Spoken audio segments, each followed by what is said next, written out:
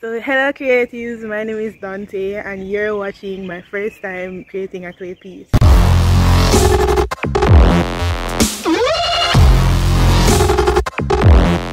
Now this portrait piece was done at Talbert Taylor Studio in Spanish Town where Mr. Taylor, a teacher and a clay artist, guided me through the process of creating my sketch called The Head of Boukman. The first thing that we did was create a cylinder which was demonstrated by Mr. Taylor how to make for the foundation of the head. here, so this is the um, our thickness it.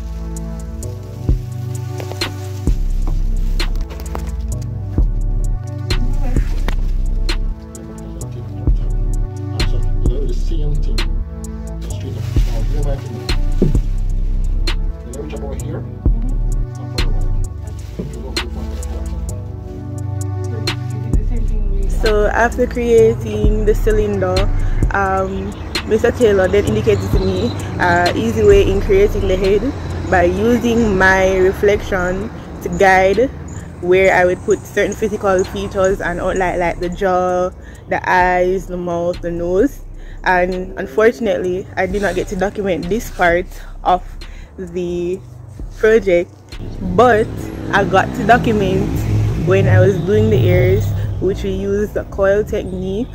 We also waited for the clay to dry for a couple of days so that it had a stronger foundation for us to work on and to smooth out other areas of the physical features on the face like the nose the chin etc another thing that happened was that when creating the face um, it was perfectly sculpted in my eyes for my first time but it began to sink because the head was too heavy to stay on the neck.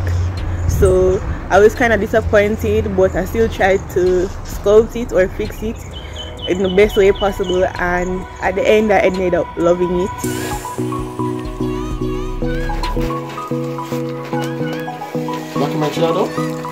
Yeah. Ada dia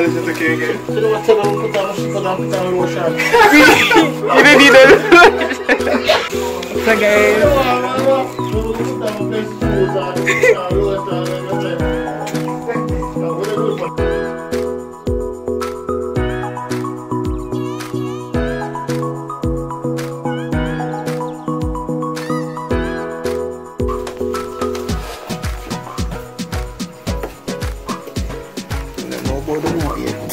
Mulut agora, eu tô com muito. E na cena, mulut agora, vocês são muçulmanos.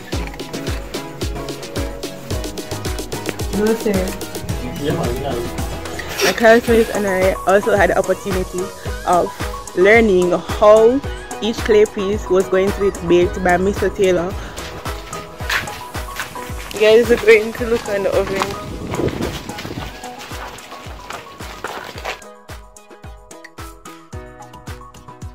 Good afternoon. My name is Mr. Taylor. Yeah. Right. I'm also a painter and a ceramic artist, and I teach part time. Right.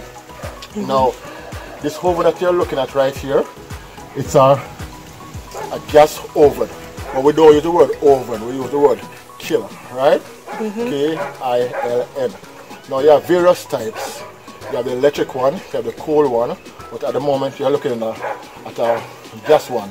Now the fiber that make up this is a refractable fiber. The refractable fiber coming, there's two ways the refractable, refractable fiber come. It come in brick format and also coming um, like a cotton fiber, right? Now the same fiber that made the brick and the cotton mm -hmm. is the same fiber that made the power plants. Like Jelly Place power plant, that's what they use to um, um, insulate, insulate the place so the energy can stay in. That means that I could I can snap I can snap right here like this, mm -hmm. and inside of it now you have a 3000 degrees Celsius and a baby can come right beside and don't know that it turned on. Really? Because when, when the heat trap inside of it, you can rest it on it like this yeah. and it will not burn you. But if Whoa. you put your finger through the peephole, it will cook it. So why is there people so that it don't explode? Okay.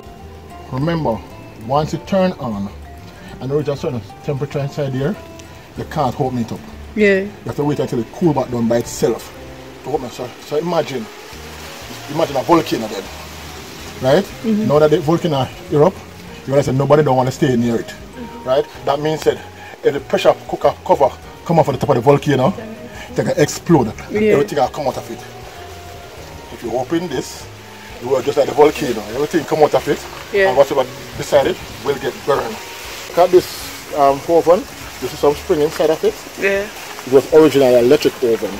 Oh. You understand? So this refractory brick, this is a refractory fiber.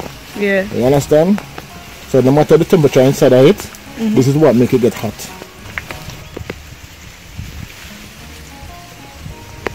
So say how long it take to bake the clay inside there? Okay. Um, how long it take to bake the cake? As I say, for biscuit firing, it's about 900 degrees Celsius. But guess what now? We have different type of clay. We have clay. The clay that you are using to do your work, that's earthenware clay. That's the cheapest, and that clay cannot go to. s- As we when we reach about the maximum that clay can go is 1000 degrees Celsius. Now it's stoneware clay now. Stoneware clay can go up to 3000 degrees Celsius. That's the clay that they use.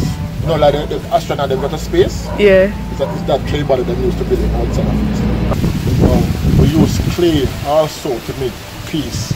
Some of the material that make the thing that we call toothpaste is from clay. Um, the, den, dentist, the, the, the, the, the denture, the denture mm-hmm. from, from, from clay also. Mm-hmm. So that's how clay pieces are basically baked. And before they're baked, Mr. Taylor told us that we have to wait like a week for them to dry. This prevents them from exploding in the kiln and also to ensure that there's no cracks that come upon the pieces while it is baking. And as a young artist, I feel like it's good to learn different art forms so you know which one you really want to go into or which others you'd like to do. And I like to see myself going into more and not just limiting myself to just painting. And I hope I hope this you enjoy this video. Tell me, comment down below and tell me how you think I have done on this piece as it was my first time.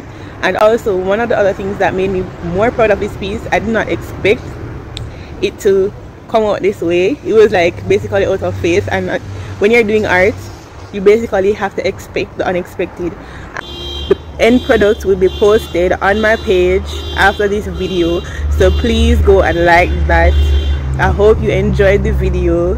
And i will try to make more documentaries of me experimenting and learning how to do different art forms thank you guys for watching. This is the end of the video and remember to trust your hearts like comment and share this to others